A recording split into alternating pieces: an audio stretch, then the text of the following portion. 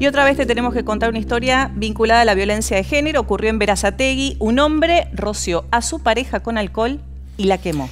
La chica está en coma, con el 55% de su cuerpo quemado. Se trata de Mónica Garnica, de 25 años. Su pareja fue detenida por la policía. Mónica Garnica, que lamentablemente ha sufrido en reiteradas oportunidades por parte de su marido violencia de género. Fue prendida a fuego por su pareja y padre de sus tres hijos, Ángel Saracho, quien permanece detenido. Ella había hecho una denuncia anteriormente, renuncia que tuvo que retirar porque la idea de él era ingresar en los primeros días de enero en la policía bonaerense.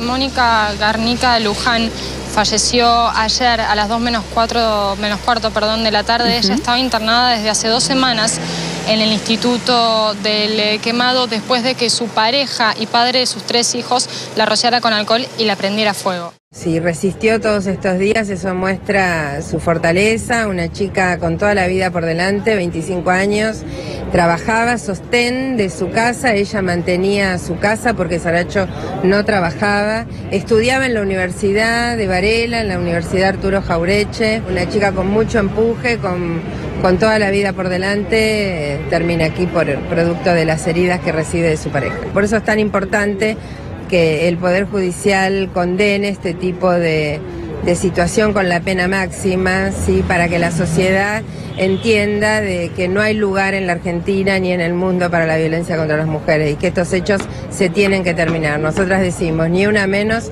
vivas nos queremos.